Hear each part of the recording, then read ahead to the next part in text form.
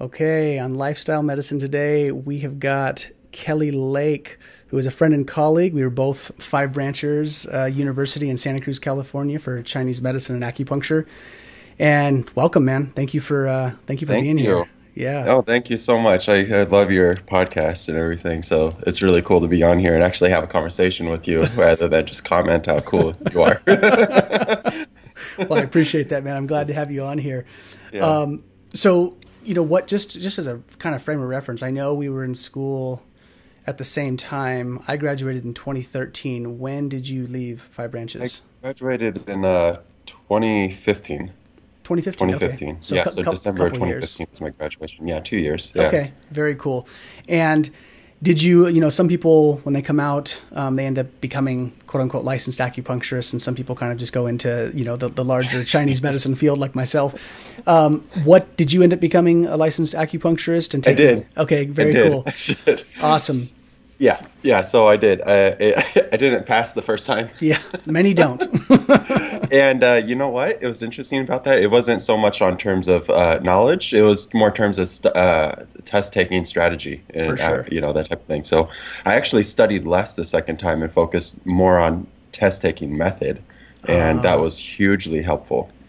Well, like, that's that's good to hear, and I should talk to you after the fact because I think that was definitely my issue too when I was taking the test. I could real I realized, excuse me, pretty quickly. I was like, this isn't about. I like I know the information's in there, but yeah, getting it out and understanding how to do it, man, it's a tricky game for sure. Right. Yeah. Yeah. There's all thing, sorts of things, mental fatigue, and all Yep. sorts of things. Yeah. It's very real. So, Kelly, why don't you um, give the listeners kind of an overview um, just to what you're doing in the Chinese medical field and a little bit of your background because you and I have some similar interests and similar threads.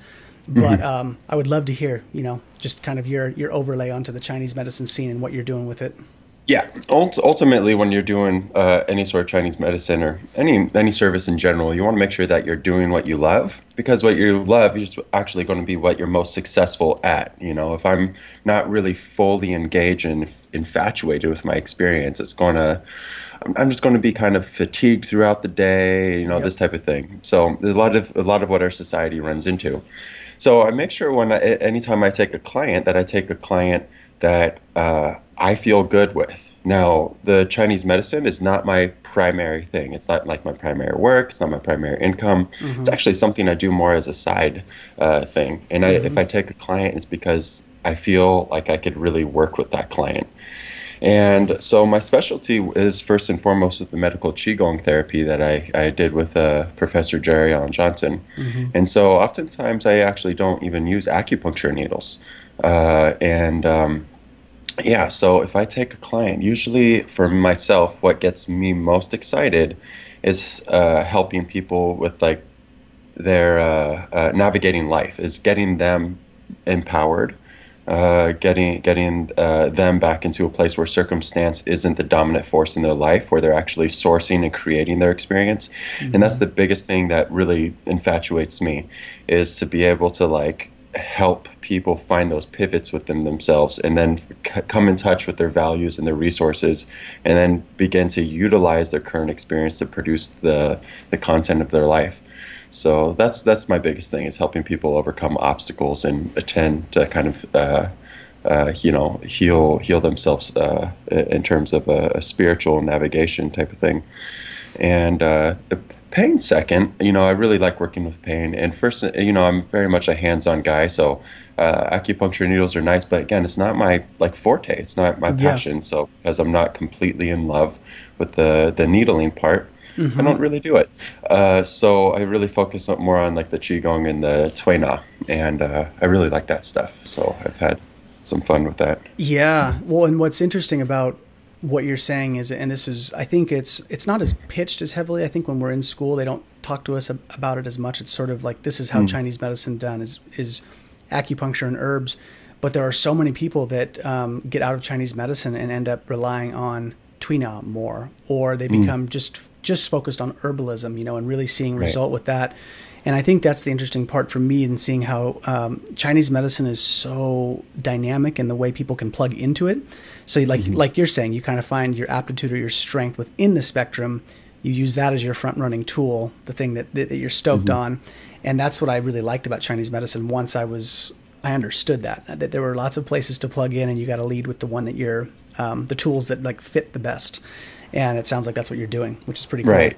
Yeah. And you're not alone. There's a lot of a lot of practitioners who I talk to is very similar threads where they're doing different things than just acupuncture. They don't yeah, fully align. Definitely. Some people are just like full on herbs, you know, yeah, and that type are. of thing. So yep. Uh, yeah. very cool, man. Well, let's talk about um, you know, let's talk about your martial arts background a little oh, bit. Right, yeah. Because I know you love that, and I love martial arts yeah. and that kind of stuff as well. And I know, um, I believe the common ground, at least between the two of us, that we you are a pretty like devout Bagua guy, if I remember correctly. Like you're yeah, Bagua uh, tends to be the forte in any type of movement skill, or I tend to kind of pour into Bagua in some sort of way. Yeah, yeah. Very cool. And um, you know, I've studied Bagua, and it hasn't been my forte as much. Tai Chi has been more of mine, but um, Xing Yi, you know, I lean more towards. Um, I remember that. Yeah. Yeah, I love Xing Yi, and um, but I love Bagua too. It was just you know, life kind of takes you down the roads where it was like I was getting more Xing Yi exposure, so it just kind of stuck. Yeah. Um, but let's talk about your Bagua. Let's talk about how you found it, um, and just kind of giving the audience an orientation to Bagua because it's sort of in a sense, sort of an esoteric martial arts by the mainstream standards. People usually don't know yeah. what, it, what it means or what it is or how it works. yeah. There's a lot there. yeah, so it, it because that kind of uh, goes towards my story and how I even got into it and that sort of thing. Sure. So, uh, you know, as a as a kid, we'll start there. Yeah. uh, back to the youth.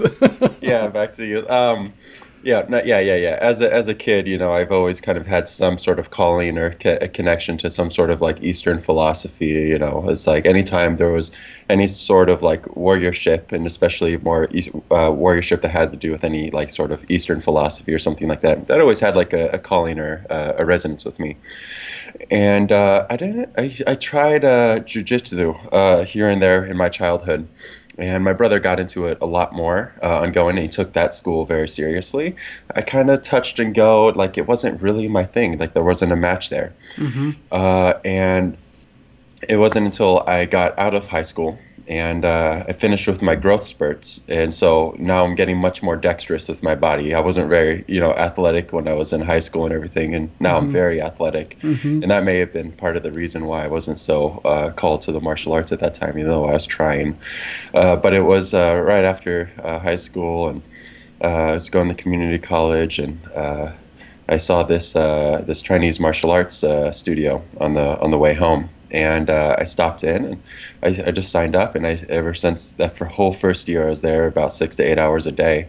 Uh, I was just there as much as as possible, mm-hmm. and uh, I once uh, you know at the school I I, I, I ended up. Uh, at least at that school, I don't know as a whole, but I ended up uh, progressing faster than uh, the other students there. So I, I, I surpassed a lot of people in their belt ranks and that type of thing, and um, so I ended up with like a brown belt. I was like working for my black belt. And I, I the audio cut from for a minute, at, oh. least, at least on my end. What was the oh. what, what was the style you were studying? The first one. Oh, it was a it was it was like a seven animal system. It was a style called like Shoshu. Uh-huh. Uh, it, was more. Uh, there's a guy named Almore Senior, and now his the head of the school is Almore Junior. Uh, you know, a really cool guy, really talented guy, and um, so uh, I did, I, but it was like a big school, so I actually trained with someone else, and uh, let's see. So Almore Senior, he he was very much a kempo specialist, but uh, mm-hmm. in some trips to China, uh, I, I, might be fuzzy on the details because it's been a while, but I, I, remember his trips to China and things like that, or uh, connections with different Chinese martial artists. He, he really liked the animal systems and the things that he was learning over there but he liked the way that the kempo, the American kempo thing was like set up, or Chinese kempo thing was set up. So yep. he thought that was an easier way for people to learn mm-hmm. and for people to practice and remember things. So he kind of blended the two and created his own thing uh, called Shoshu. Uh, to my understanding, and I might have the details fuzzy, so don't exactly quote me on that. Sure. But from there, uh, you know, I I started uh, uh, I started doing Tai Chi at the community college, and I figured, well, you know, like I needed an elective, and I they figured that was something movement based, and so I was basically trying to do everything movement based because I was totally in love with martial arts at this point. Yeah. And I thought Tai Chi was kind of foo foo stuff, you know. So like I was like, ah, whatever. Yeah. And actually, someone else got me to uh, do it. They're like, you want to do Tai Chi with me? I'm like, fine, you know. Yeah, like, I'll go. I'll check this out. Right. The whole, the whole, the whole, like you know, mentality of like the Shoshu thing was like we're a street fighting martial art, like this type of stuff. It was like one of those like Yeah. we don't wear white geese, we wear blackies, like this type of thing. You know what I mean? Right, the badass And, uh, badge, right, the yeah, badass. yeah, and I loved that. I was like, what, an 18 year old kid and everything? It was just like, yeah, Yeah, yeah, Of course. and uh, eh, yeah, yeah. So anyhow, I was doing the Tai Chi thing, and some guy was showing me how to uh, open the joints, and I started feeling energy pulsing between my palms, and it was like going left and right. It was like it was a very strong pulse. And uh, I was like, I never felt like anything like this, you know, not to my re- remembrance. And so I was looking for someone who can answer my questions, and I was googling like Tai Chi Master, Monterey, like this type of thing. Sure. I discovered uh, Jerry Alan Johnson, and uh, he uh, he wasn't teaching Tai Chi; he was teaching medical qigong therapy, and I didn't know what qigong was, and I googled it, and it looked interesting enough, and I figured I'd sign up and just give it a go. And uh, everyone was bad mouthing him. I guess some people had some bad run-ins with him, or didn't like what he was teaching, or just had opinions about him. And uh, you know what? Like I was just like, you know what? Like I already paid the down payment for the class. Like I'm going to just give it a go. Like see Sure. what it's like for myself. I'll have my own experience. Yeah. So I go and I loved it. And from the medical qigong, uh, I started. Uh, I hooked up with one of uh, Sifu Johnson's uh, senior students at the time before he uh, uh, got kicked out, and uh, he he. Uh, I started doing bagua with him, and so I was doing bagua with him, and he was like a. a uh, a Vietnam vet and you know had a, cr- a crazy past, uh, you know. Yeah. And uh, I don't I don't know if they're, they're not really my stories to share, but they're pretty insane. Yeah. And uh, so he was a pretty you know full on guy, and uh, Mhm. He he he he would just like he enjoys you know his like his the crowd that he wants to be surrounded by are like people that like do like night drops and like you know gun ranges and like crazy missions just for fun. Right. You know what I mean? Right. So uh, he anyway, so I trained with him, and uh, it was re- really good, and uh, we had a really nice connection, and you know he gave me a concussion or two or something. so it's like that type of thing. He was a little bit more full on. It's like Yeah. so it's like you know things the things that I also realized that weren't necessary and weren't like the kindest things to do. You know that type of thing. Like all I did was ask a question. It's not like we were even sparring. Like Right. I just asked a question and he demonstrated it on my head. Like, Right. and It's so very old school martial arts style. yeah. It's- so yeah. and yeah, that's just how he kind of came from uh, the the way he came from. And so after after there was a falling out with him and Sifu Johnson, Sifu Johnson decided that he would teach the the Bagwan Tai Chi since people uh, basically had to kind of decide between him and Sifu Johnson. right. So I started going with Sifu Johnson, and I, I was doing the Tai Chi, the the Bagua, uh, the Taoist mysticism, the medical Qigong, going the five branches, like uh, uh, a Center of Integrative Chinese Medicine. I was kind of doing that thing as a medical Qigong therapist. Uh, you know, the community college, I was like kind of full on at that time in my life Yep. and um, then uh, yeah, and then from there, I just really just really took to the bagua and just practiced a lot, and uh, and then eventually uh, became an inner door student and started doing the Neigong training, and then eventually, you know, three years later from Neigong training, uh, uh, uh, the, we uh, uh, made Sifu and that sort of thing, and that's been good. And then my uh, bagua has just been developing from there uh, in terms of exploring different movement and you know uh, uh, just you know just kind of absorbing everything as much as possible. And and one of my uh, best friends is uh, uh, Sifu Harinder uh, Singh. hmm At you know, might Yes. know him or something. Yeah, I've seen him. I, I follow him on social media, and I I love just seeing his fi- Oh. fiery intensity. Yeah. He's the best. Yeah. Sometimes I, I tease him and I'm like, you know how like there's five elements in He's the like one.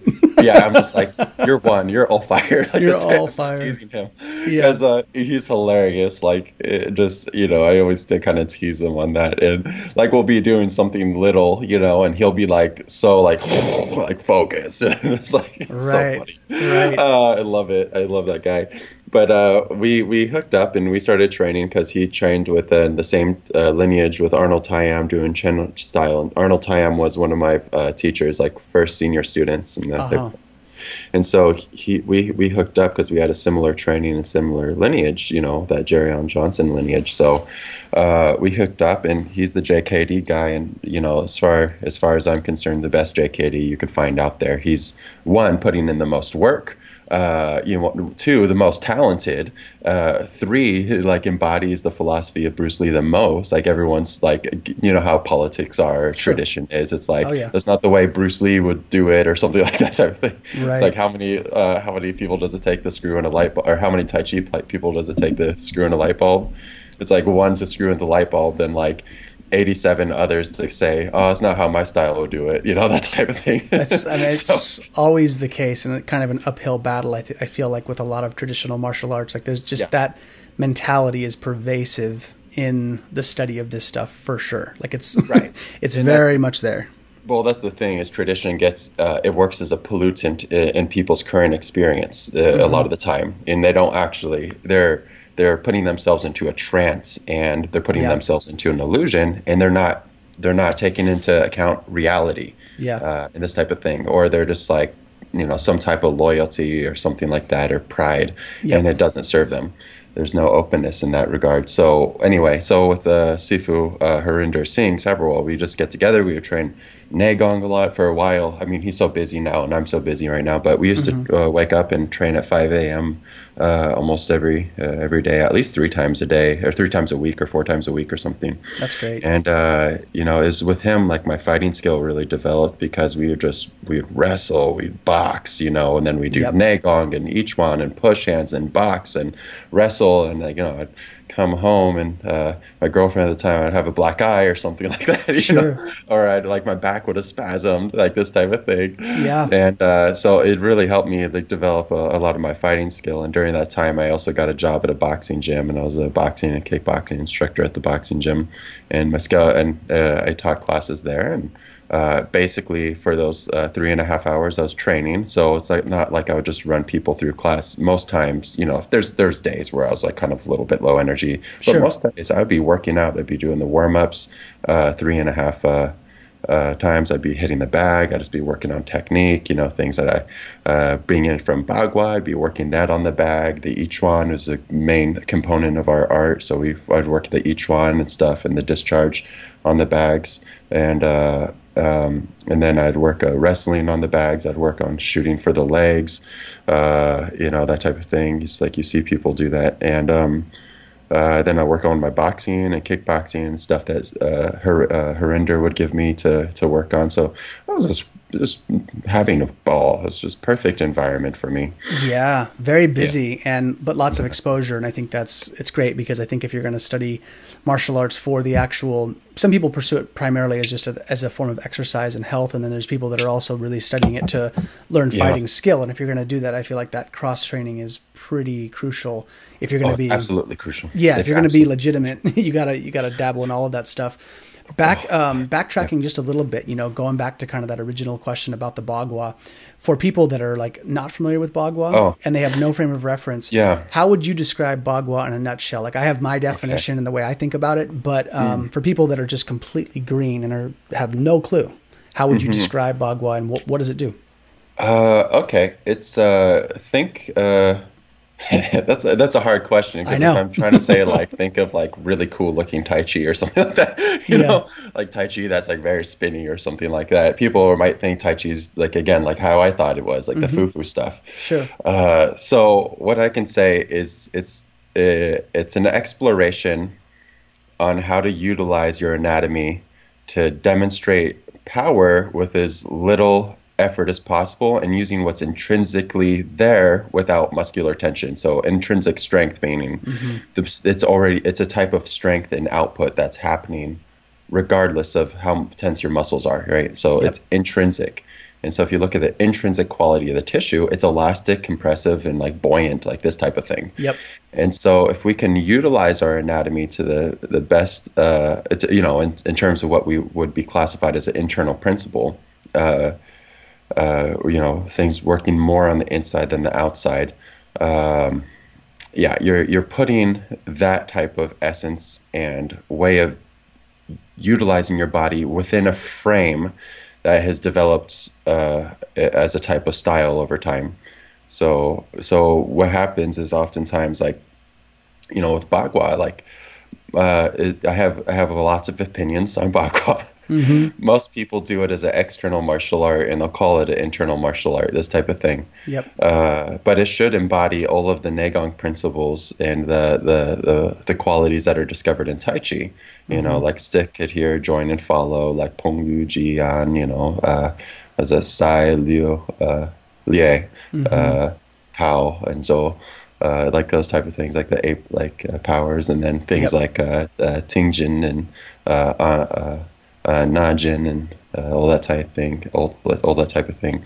So all the all those types of abilities should be present in Bagua, and if they're not, and it's not traditional for those things to be Bagua, well then tradition should change.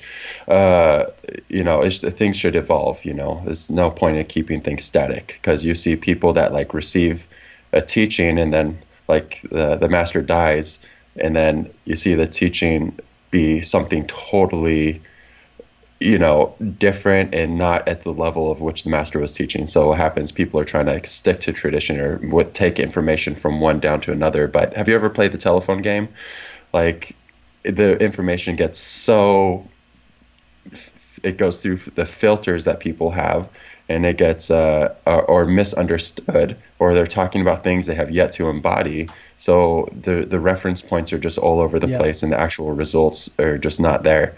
And so what you can trust is uh, your own intelligence uh, in terms of actual intelligence, just not being able to talk and be articulate. Sure. But to actually explore possibilities and explore the unknown. So going into a place where you you test it and you get feedback and you go well that doesn't work with the western with the western martial arts these days it's like yeah. you know that type of stuff so mm-hmm. like one of the biggest problems with chinese martial arts is the lack of head movement yeah. uh, and uh, so you know if i have like a bagua online program and I teach a little bit of applications. It's not the main focus, but it's there. Sure. But I always teach like how to, uh, you know, where the head is, and then just making it very simple. And mainly focus on the jab cross because that's yeah, such a just the jab cross. Like you know it's such a problem for chinese martial artists. You know if you most times if you get a guy that's you teach him jab cross and you teach him uh, how to utilize it how to probe with the jab or how to strong arm stiff arm with the jab and all this type of stuff and then line up the cross and then you know, if you can get them a really good jab cross, they're going to beat the Chinese martial artist that has like a bunch of forms and a bunch of experience sure. within those forms for like like nine out of ten times or ten out of ten times. And so and the main thing is they just don't understand the the, the angle and the distancing and that sort of thing. Uh, but sorry, I keep on going off. I, I like this stuff, so I'll just ramble. I know. No, there's, uh, there's a lot here too. I know. Yeah, and uh, so the uh, yeah Bagua is uh, is a very cool martial art. It uh, it's it, it has the inter- it works with internal principles and utilizing your anatomy in a specific the type of way. It really emphasizes footwork and it emphasizes uh, uh, a type of coiling and like a, a dynamic type of movement. And uh, it also uh, it works with the eight animal system. So it has the this type of eight animal system. It works with the trigrams and the hexagrams of the I Ching. Uh, you know, and so it has more of that esotericism part of it. There's like meditation and energetic work that goes along with it, yeah. at least as far as our school is concerned.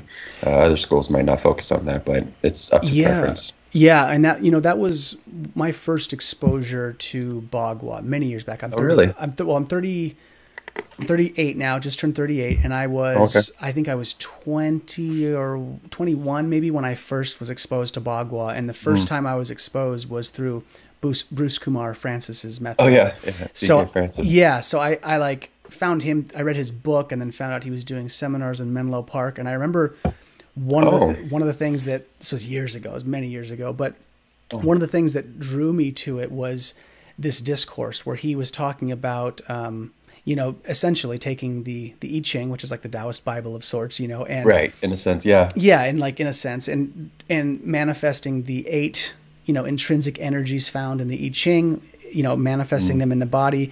The circle walking, which I always found fascinating, and I loved the coiling action of Bagua. But one of the things that he brought up, which is what you just said, he said, you know, Bagua in China and in the West now is being practiced as an external martial art when there's all of these other layers where some traditions of Bagua were strictly monastic, where they were just about refining internal energy and really um, they had less martial application. It was more of like almost like an, a tool for enlightenment, you know, where he said right. they can really get deep into the practice. And he said, but if you're going to use it for martial arts, you do have to train it kind of externally and understand those principles because when you get into a real fight, yeah. it's very different than you trying to, um, you know, move the subtler things inside. Yeah. But I think that was really I loved I guess the spectrum from which Bagua offered, and I think just internal martial yeah. arts in general, where these internal principles, um, depending on the person, where they're wanting to focus, right? If they're wanting to become a fighter, quote yeah. unquote, or they're really trying to explore this more internal, immaterial, you know, realm. I guess is like that was yeah. the piece that I really liked in in hearing, and um, yeah, it's just kind of a cool progression to see how Bagua how different practitioners and different schools and systems approach Bagua because it is different. You know, there's definitely right. some different strokes. Yeah, and martial arts in general, like I that's one thing I love about it is it serves everyone in the particular way that they're trying to get benefit from it. So yep. I I am definitely not one of those people that's like angry and needs to prove myself and yeah. like this type of stuff. Like i don't i don't care. Yeah. If someone wants to claim they can beat me up that's fine. I have really don't care you know? Yeah, Uh, i have it's no interest. Uh it's a but the thing is like you know with martial arts people can come forward and like get confidence out of it like they can increase the health of their body you know like yep. Uh, like there's so many things they don't have to become a fighter and like that's okay like that doesn't need to be part of it mm-hmm. uh, you know but like of course there's still going to be like partner practice and skill but of it helps course. you develop elements about yourself you know it's like yeah. developing that confidence and like coming into touch with that like that type of awareness and that the hitting the uh, you know like what the athletes call the zone you know like getting in the zone where like the yep. mind shuts off and your body's like acting at like a, a reacting to data at like a hyper rate, you know, like a really fast rate, like normal than it, it would normally. Uh, they're going into a type of lucidity. It's like, you know, they had to discover these things and really discover things about them that they didn't uh, know that they could do. And that's wonderful. Uh, but the fighting aspect is is not you know is not for everyone, and particularly I'm like I'm not fighting, you know, like mm-hmm. I'm not mm-hmm. entering competitions and this right. thing. It's right. a skill that I cultivate and like I find very fascinating and fun.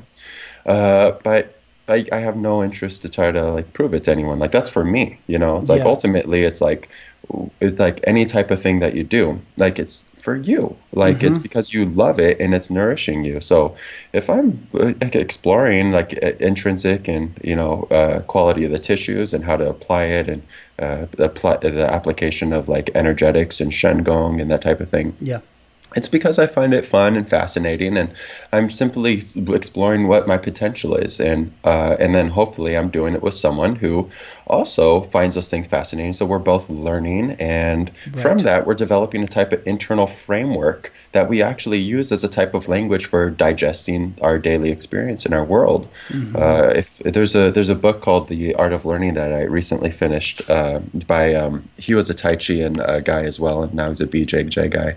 Uh, oh God, what was his name? Uh, it's a very popular book, but The Art of Learning, mm-hmm. and he very much talks about like this internal framework thing, and I was like, ah, oh, it's exactly you know what I've been trying to uh, to express to a lot of students for a long time is like you're learning is like him as a chess master when he was younger like all right. those that internal framework that you develop like shows up in the other other areas in your life so same thing for me it's like I'll use bagua and martial arts in general to really a lot to like really give context to and like uh, language to something that I'm trying to digest, you know. So even when I'm teaching like spiritual stuff, you know, I'm just like yeah. it's like a jab cross. you know? Yeah, yeah.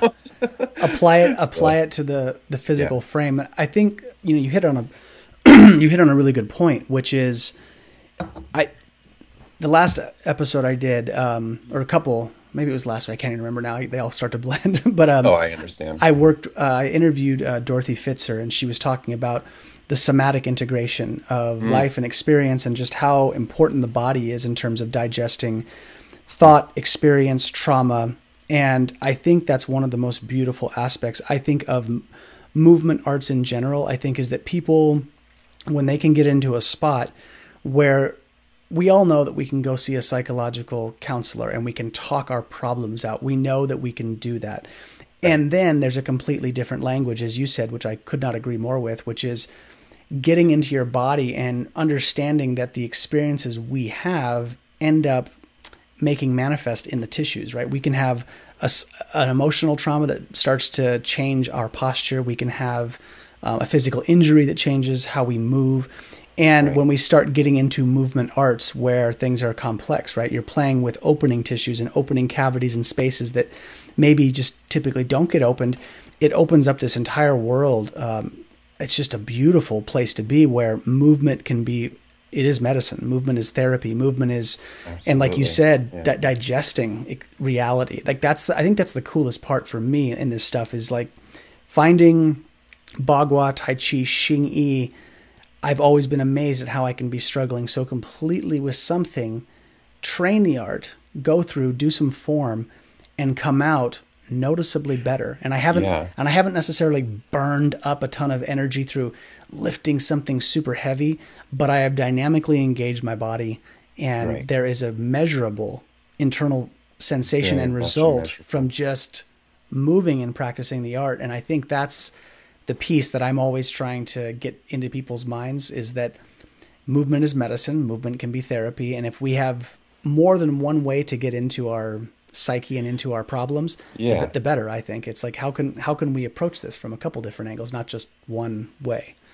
Yeah, yeah, absolutely, and uh, that's that's a very good launching off point for a lot of conversations we could have. But uh, sure. uh, I mean, when you look at that, yeah, absolutely. Uh, what, what, comes to mind for me is think, considering congruence, you know. And so, w- what I'm hearing is it's like you know, it's about making your life better. But like more than that, it's like having an aim and like life purpose and like being mm-hmm. like clear on how you want to use your heartbeats and your breaths. You know, it's like those are those are going to stop someday. You know, yes, they are. So, uh, you know, so um, what it is is like we spend so much time like complaining or getting distracted or indulging and like and how much of that is really congruent with what it is that we're fully on fire with you know yeah. and so if we can like really get clear on our aim then it's like well if I have if I'm clear on this aim, like what are activities and what are elements and attributes and skills that go along with this? You know, this yep. is like really what just lights me up, and uh, really just what I'm on fire for, and really what I actually want to dedicate my time and energy and heartbeats to. Mm-hmm. Uh, what is it that feeds that? exercise feeds that. well, look at the benefits of exercise, and like one, you you got longevity uh, one, as you get older, you'll still be able to do more, you know, that type of thing. Yep. You won't, you, you know, you'll be able to, you know, wipe your own ass, like, you know, uh, you'll be able to, you know, go on walks like with your grandchildren, like that's very important. Uh, and then also just like the the uh, em- emotional benefits from exercise, extremely important. And then uh, also mental uh, as well. It's like you get blood flow to the blood flow to the brain, like you know, if you're ever having like a writer's block or any type of thing, like mm-hmm. exercise will really help to to aliven you. And so I think in regards to anything that you do, uh, you know, the the ex uh, there should be no part of your body that's uh, anatomy, uh, physical or non-physical, that's uh, that's neg- uh, neglected. You know, like it's it's really it's really a wonderful gift that we all have, and we all take it for granted. And part of that's because of how we're raised and the culture that we're brought up in, and sure. and the you know it's it's kind of like a governmental um, uh, uh, a, th- a, thing in terms of managing a wide population to kind of have them sleepwalking. Like it's just easier to, to work that. Yeah. and and then also to, you know trick them into a type of economy that uh, benefits the government, so the government can do what they want to do. you know, so uh, right. yeah. I guess you got a bunch of sleepwalkers, you know. well, there's definitely some cool threads in here, and yeah, we uh, we, there's so many different directions we could go, and but to keep this, you know, in, in the in the thread of kind of extracting some okay. of the, the gems that you've um, that you've studied and the things that you've engaged in, you know, we've touched on the martial arts piece and the value of that, right, and what it and what it brings to people's lives. This this this idea that the movement can be therapy, right? The the value of exercise, what it does for the body. We can all, yeah. for the most part, at least in theory, right, all agree that this is really important for all of us to like consider in terms of making our lifestyle better and having, like you said, I like that using your um, your breaths and your heartbeats. You know, how do you want to use yeah. them? And then, you know, in your your studies which are pretty different from what we learn at Five Branches. I know you got involved in Taoist mysticism. You got involved yeah. in sort of the what I would call the shamanic um, realms of practice. Yeah. So, can you, you know, that's a huge universe, and I want to open it uh, sparingly, but also selectively. like course, you know, like yeah. we have to like keep it on track to a degree. But when you when you look at this topic, right, Taoist mysticism, okay. um, Taoist magic. Yeah. You know, what, there's different things that are, that are, tossed around, you know, in terms of terminology. But for people listening, you know, what is that stuff? Like, what is that? What?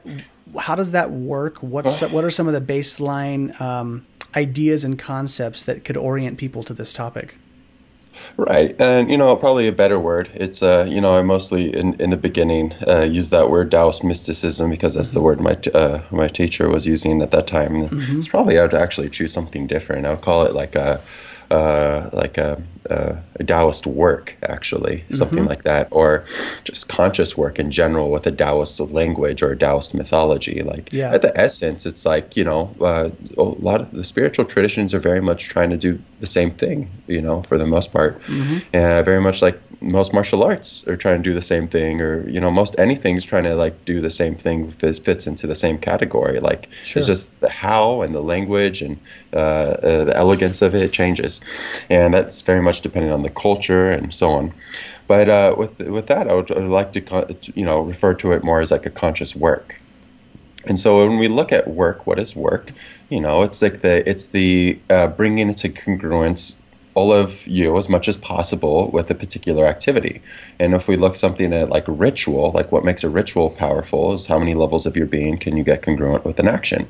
And so when we um, look at this, it's a type of actually a training. The same way you train your body, this just has to do with elements that are a little bit beyond your body and uh, utilize uh, uh, parts where you're awakening to different uh, energy and dif- different uh, different uh, aspects of your your lucidity and consciousness and awareness and all this type of stuff. And so what happens is like you know uh, me getting out of bed is a type of work, or or uh, you know me you know journaling is a type of work. It's bringing my body into congruence. It's bringing my uh, my speech, my breath, my thought words into congruence. Right. It's bringing my um, uh, my visual center into congruence, right? This type of thing. And then there's more elements we can add on there. But basically, I'm getting, uh, you know, uh, if we went to Taoist approach, they would look at like the three Dantians as well. Like they would look at like your head center, your heart center, and uh, your power center, this type of thing. And uh, they're trying to get as much as your, of yourself congruent with an action. And then what happens is uh, we have different meditations for that. You have different, uh, more uh, somatic experiences for that, things that you're doing physically, postures you take on. Like there's there's ways of utilizing uh, your body and your anatomy to get you from point A to point B. Yeah. And so when we look at that, you have a particular aim. And that aim has to do with you. Now, I don't like the word enlightenment because it, it, implies an arrival point, mm-hmm. this type of thing. Uh, so, so what I tend to, to, to look at is simply growth and uh, more just just discovery and growth, really. And there's a, try to, a kind of creative aspect there. And so what happens is you see spiritual systems and then you see religious systems, you know, and this is something that we're all commonly, uh, we can identify, especially New Age this type of thinking that this gets thrown aloud, around a lot, but sometimes people don't take the time to explore it. Anytime you have like a religious system, it tends to do with like the, uh, the adopting belief you know, and mm-hmm. it actually doesn't have to do with your current experience. And it also tends to have elements of worship. Uh, and worship isn't exactly work. And actually, in a type like incense burning, it can be a type of wonderful experience. But uh, what happens is like worship, what it does oftentimes is place power outside yourself, right? And that's not what spiritual work is about. You know, actually, spiritual work is actually trying to get realize that the power is actually you as a source. mm-hmm. and that circumstance is not the dominant force in your life. That regardless of the circumstance, you're always the dominant source in your life. Your values and what you choose and what it is you want to create. But we all get distracted because some circumstance happens, and then we have emotional uh, things come up, and we have thoughts that come up, and yep. we actually think that we're we are our thoughts and our emotions when we aren't.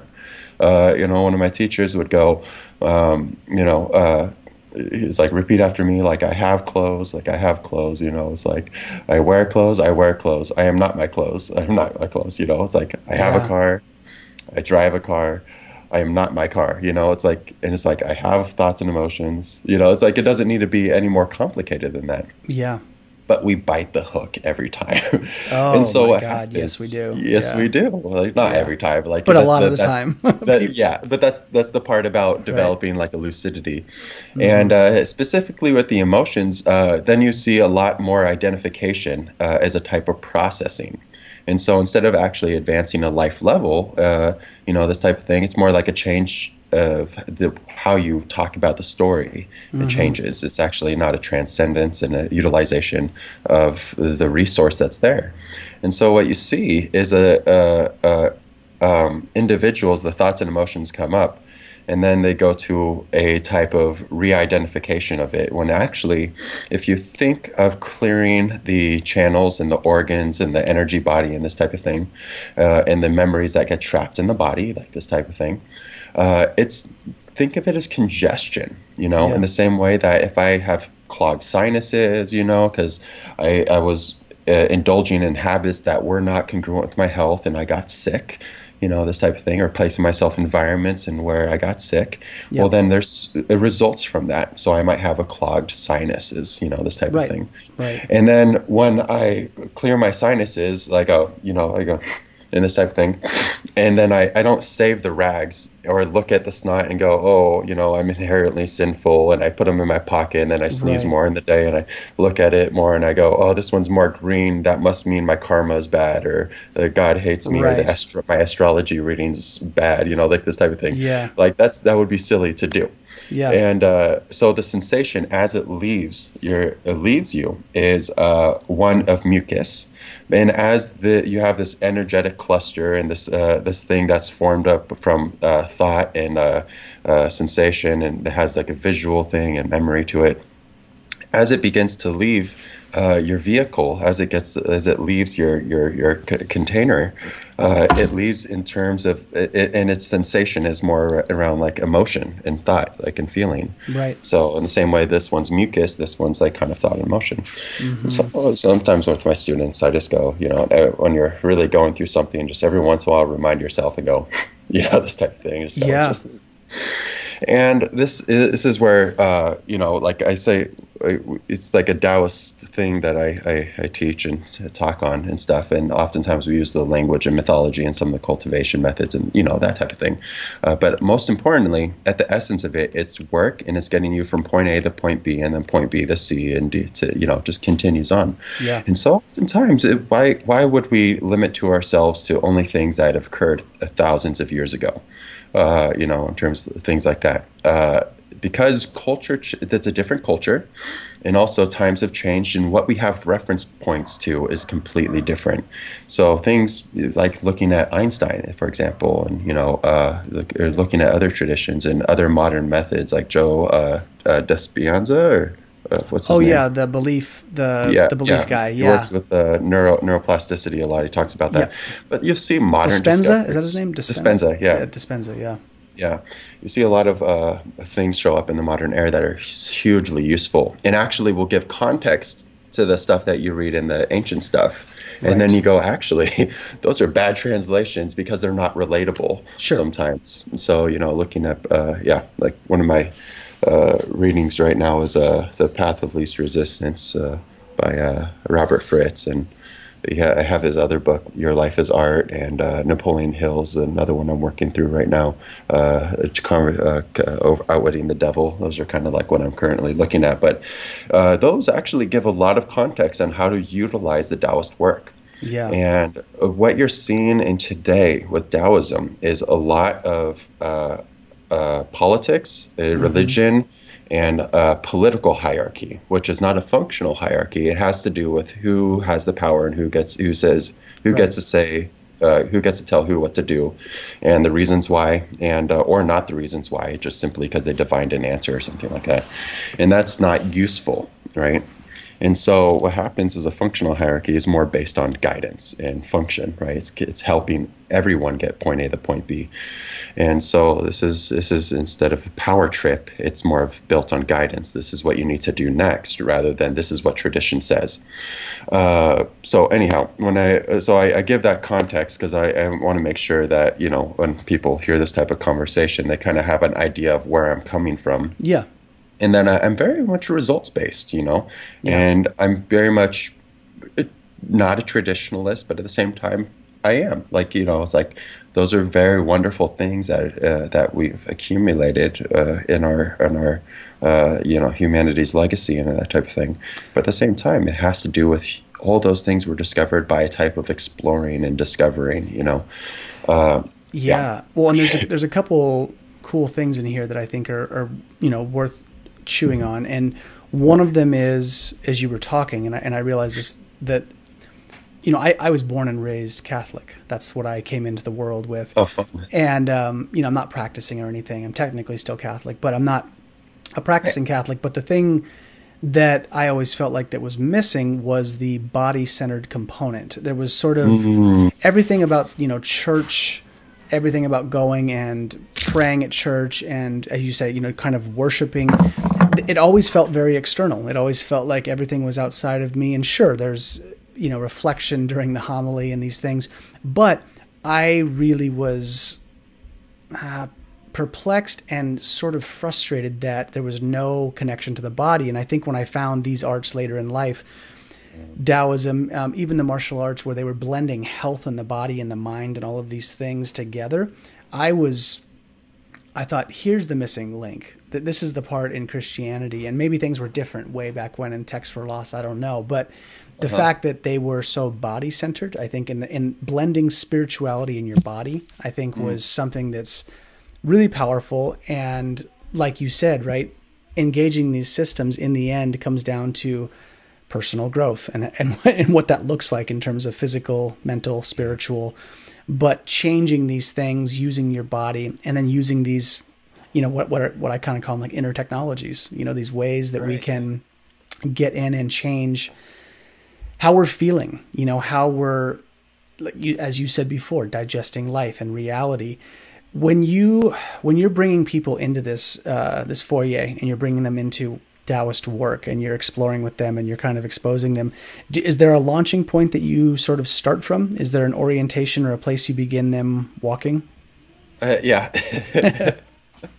uh, I mean, that's a big question. Uh, in a sense, it's uh, uh, with, the, with, with the two groups I got going on right now. Uh, you know, like the the thing is, it's it, you know, they all have to start at the beginning and what you tend to work on uh, and deepen, no matter at what stage you're you're at, you always work on the foundation. And people always think, oh, this is the beginner stuff and that type of thing. Mm-hmm. And I have to kick students out sometimes because they're like, I'm more like you guys. So I got one that was really uh, identified in that type of thing. It's just like I'm more advanced than the other students. If you're going to limit my spiritual growth, if you're, you're not listening to me, like this type of stuff, and uh, that's a type of psychosis actually uh, you know, psychosis being def- defined by, uh, you know, uh, uh, uh belief in like something that's actually fictioned or uh, by the mind, or you know, that sure. there's identification with obs- some obscuration of the mind and kind of outside.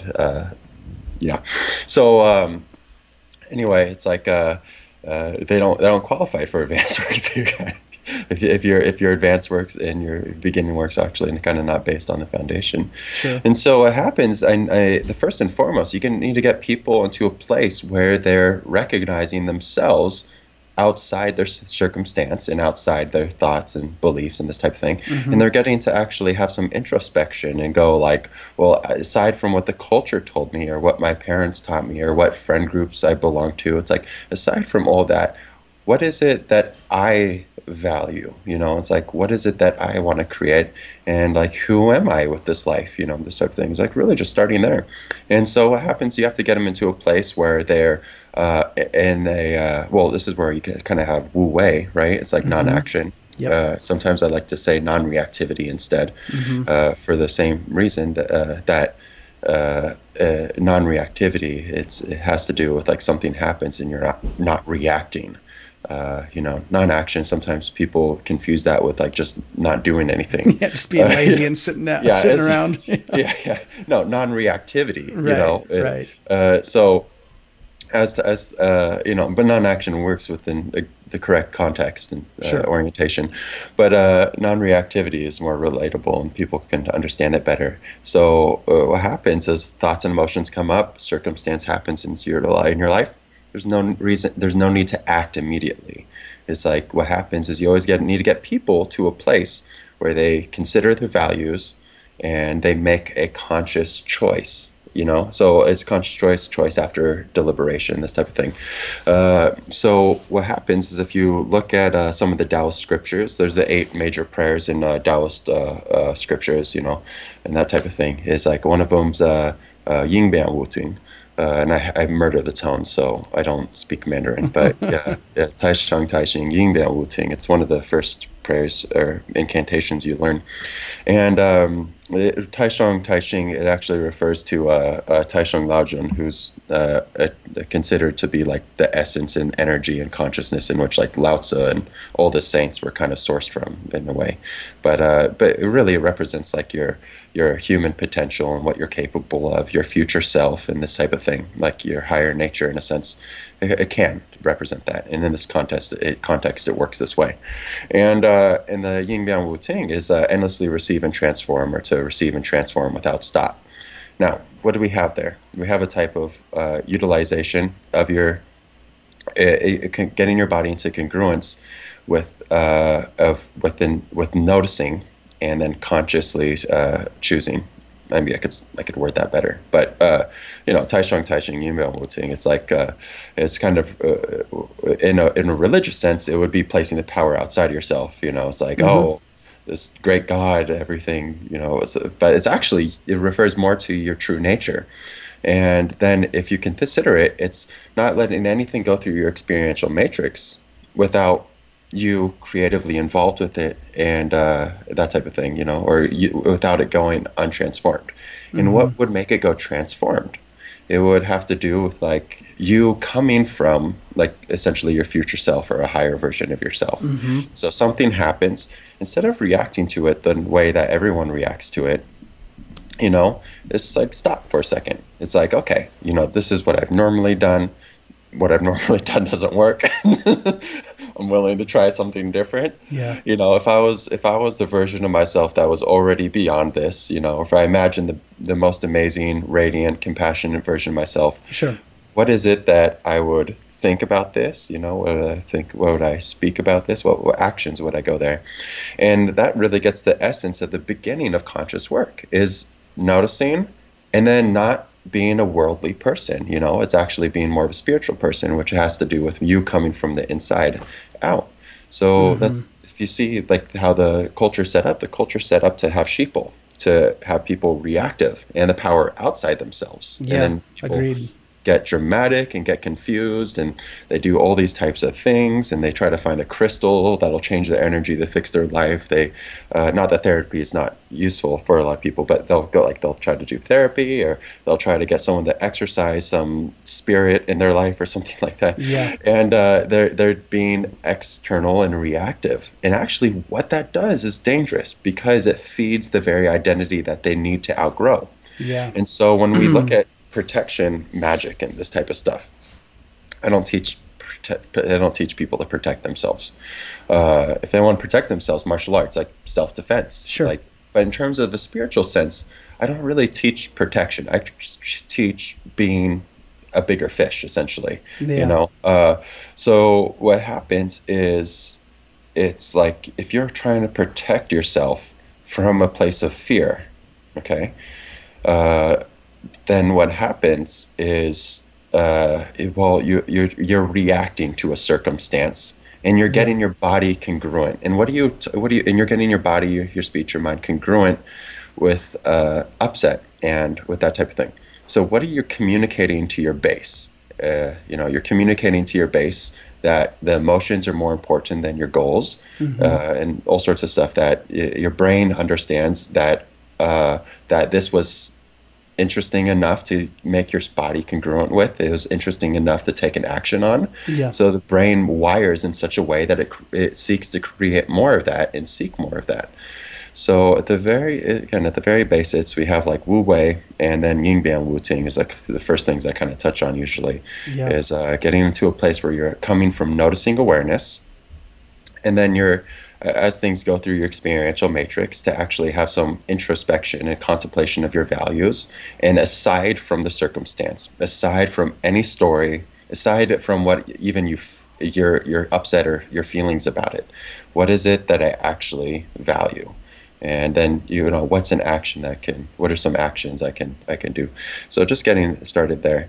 Uh, so you see that with uh, you know uh, the, some of the incantations Ying Bian Wu Ting and uh, that type of thing. And furthermore, if you look at some of the other Shang-Qing traditions, uh, like Mao Shan before Mao Shan went super black magic, when it was actually more of a work school, before they the the, the ritualist, uh, ritualistic stuff came in more from the Ling Bao tradition, which they kind of developed uh, some more rituals around, and then they absorbed a lot of Buddhist teachings, and then Mao Shan eventually absorbed that too. But before that, Mao Shan was much more shamanistic. Um, again, sometimes these details are fuzzy because you know sometimes. Yeah, I, I know. Yeah, I know how it goes. But uh, they, you know, like I might like, oh, this is really interesting, and then I do this thing for a while, and then I go like, oh yeah, what were the details on that?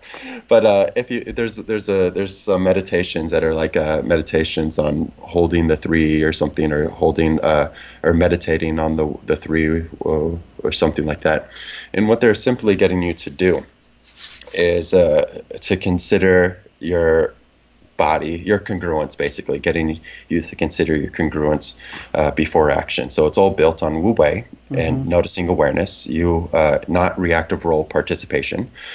And so what happens is something goes through your experience matrix, you may get upset, but that's aside from the point.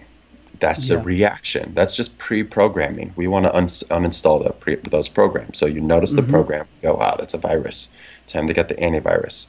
And yep. so the antivirus has to do with where you dedicate your life energy to. And uh, so the meditating on the three ones at its base uh, is the contemplation of the three mechanical centers. So you have your lower dantian has mm-hmm. to do with uh, the actions and affairs. You got your middle dantian has to do more with the, the speech and the empathetic uh, and the virtue of part.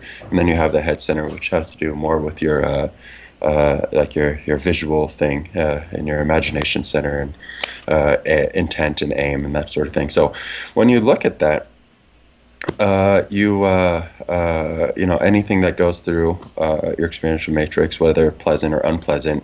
there's a consideration on the the three ones, and so it's like, okay, what what is it that, that you know I would consider speaking here, acting here, like you know you you, but deeper than that, it's where are you coming from?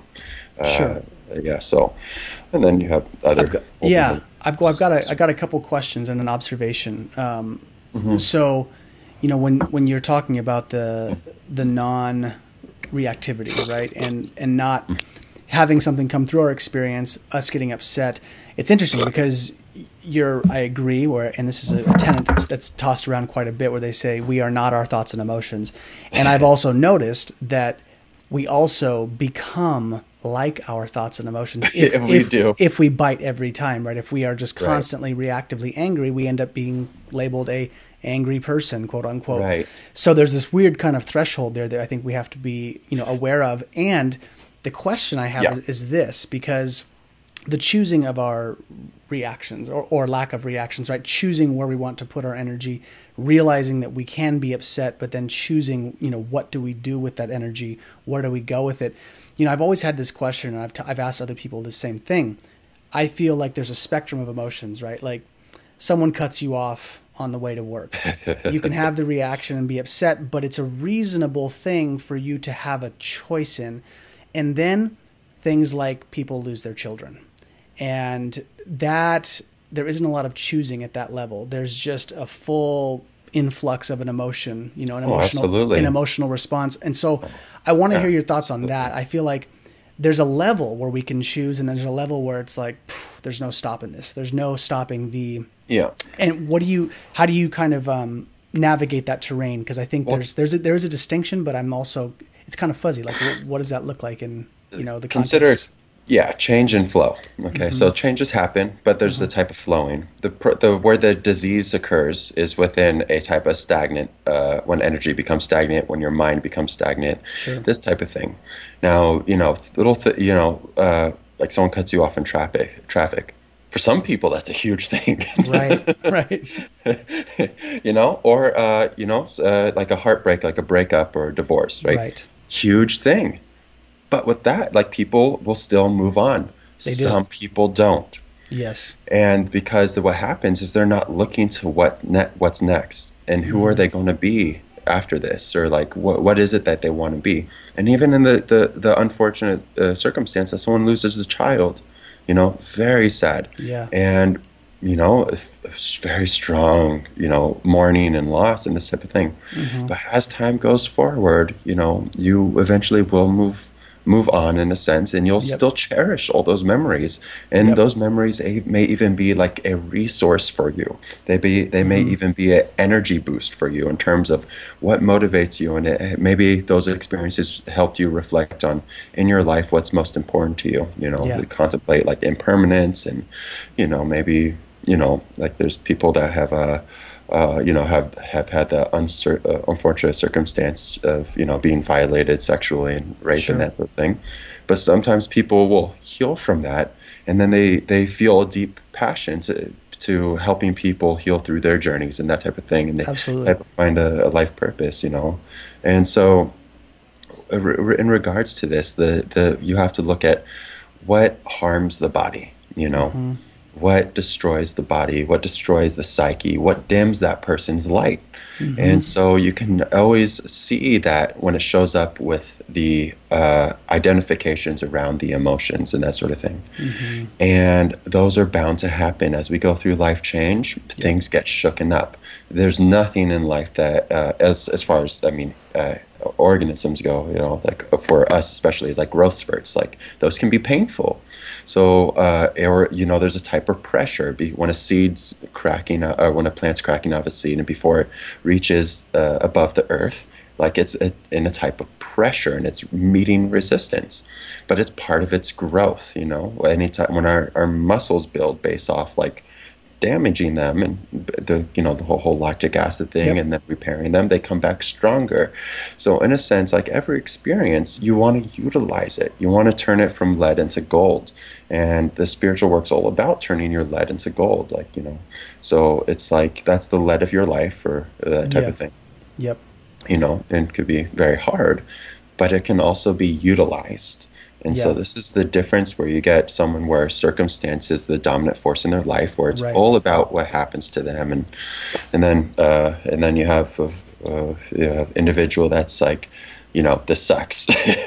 This is a big change. Like this is really hard for me, you know, but it doesn't stop them from dreaming a positive reality. You know what I mean? It doesn't Yeah. stop them from creating the next step of their life. What's right, next? That's most right. Well, and you know, one of the th- the threads I've seen with people that I've worked with and people who have gone through really intense traumas and they've had really brutal um, Yeah. experiences. You know, one of the things that's pretty consistent that I've seen is that people also they have to fully experience the thing that has happened to them. They have to fully sort of surrender to the pain and and let it in essentially fully because I feel like what I've seen is the people that don't fully let it in. They don't let themselves be saturated by the grief, right? By the loss of the child. It's when they start to put walls up and say, I can't feel this, that seems to be part of where the stagnation begins and people will Yeah. actually get stuck.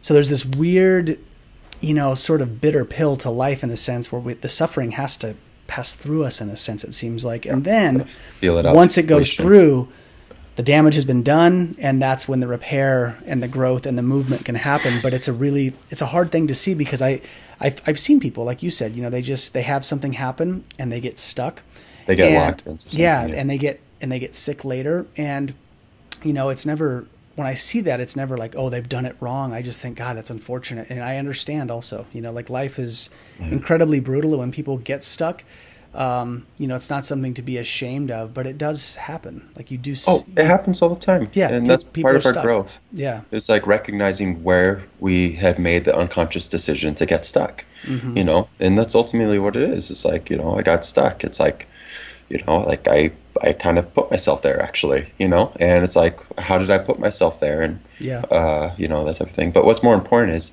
we always thrive best when we're in a type of creative orientation, mm-hmm. you know, when we're orientating, uh, and, and, and actually directing our lives and taking some deliberate action.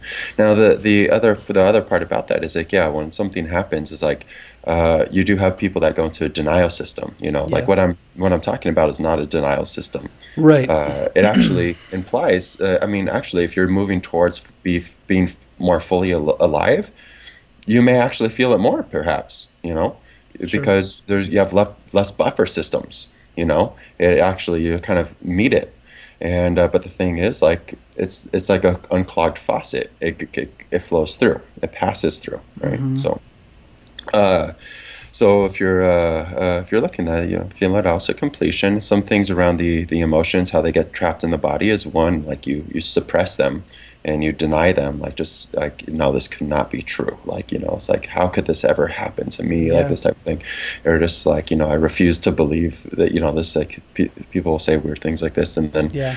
uh, other things people distract themselves like alcohol, you know, uh, yeah. TV sex, uh, yeah. all sex, uh, yep. all sorts of distractions. You know, food, uh, that type of thing, and uh, exercise even. Mm-hmm. Or sometimes people want to uh, just, uh, you know, they get they get hyper identified with something else as a way of just avoiding the other thing altogether. You know, it's like you know some people can even get into like spiritual mumbo jumbo type stuff. Mm-hmm. You know, and just like you know uh, that type of thing. So, uh, and then other other things is people keep it inside themselves uh, through word vomiting, right? Mm-hmm. So what happens is, uh, which could be one of the the more dangerous ones, because what happens is if you can get other people to validate your experience, then what happens? Oh, it must be true, or I must be right. This yeah. type of thing. So, and it's incredibly dangerous because now you have a network, or you, you have the the sensation that you know you're va- you're valid in your upset. Uh, so that one could be actually more dangerous. Is uh, yeah. telling you know, convincing everyone that so and so is the bad guy, you're the good guy, this type of thing, that you were a victim, they were a villain, or something like that, or yeah. or you're the hero and the other people, and there's a victim and villain stance or something. So, uh, so when you word vomit in that way, what happens is you're constantly retelling the story, and you're kind of feeding the story, and you're keeping it around. Your ba- your brain's recognizing that you really value the story because you keep on telling it, and so it creates neural pathways to continue firing that story through your mind. And what do we know about neuroplasticity?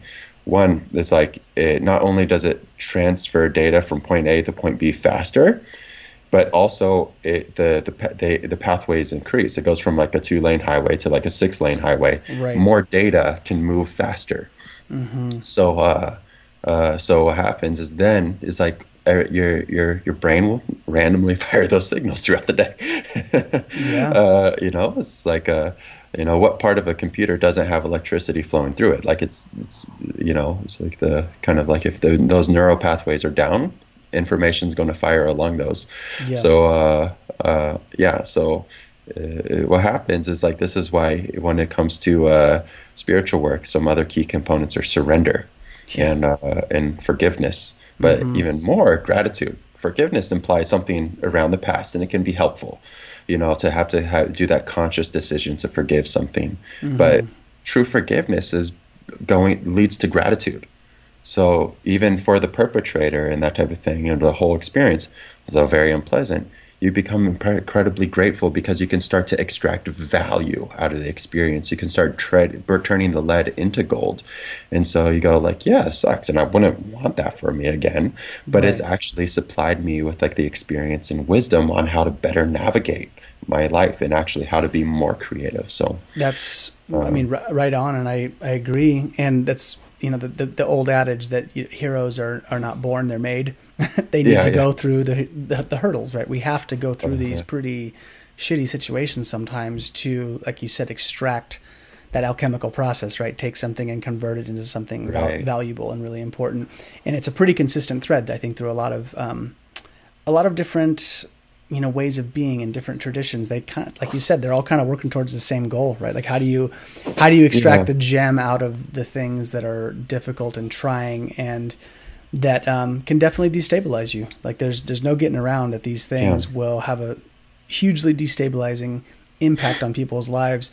But I think that's what's great about your the work you're doing. Mm-hmm. You know, I think just with the healing field in general is when we're looking at this is that people have the tools and the the means and the different avenues to actually go through this stuff. It's not just one way. You know, there's lots of different flavors to try Oh, yeah. to get to, to, get through your process, you know, which I think is is Yeah. really cool.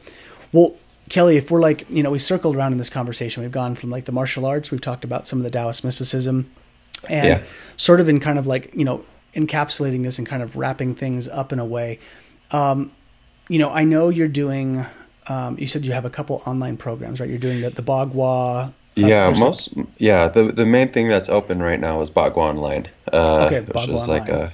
a which is baguaonline.com. Uh, but it basically what it is subscription model. The step by step bring you through learning Bagua, going through you know posture, the quality of the muscle, what you're looking for, exercises that go along with it, Mm-hmm. and step by step. So it's very comprehensive. I talk a lot. Uh, so it's it's good for people that actually want the detail. If they're looking to get a form as quickly as possible or something like that and do it incorrectly, there's tons of DVDs out there for that. Sure. Uh, I'm not one of the, I'm not the same. I'm not that individual. I'm for there for people that actually uh, want to take the time to drill something in step by step, and uh, that's the program that I've opened. The DAO stuff is not open. It's not public. Uh, those are closed classes, uh, mainly because they follow a type of curriculum, and bringing new people in constantly with that course could actually kind of make it the whole learning structure uh, a little a little incongruent. So the integrity is built around uh, starting a class, closing the class, and then continue, going on a journey together. Uh, so those those classes are close to the public, and there will be training opportunities. Sure.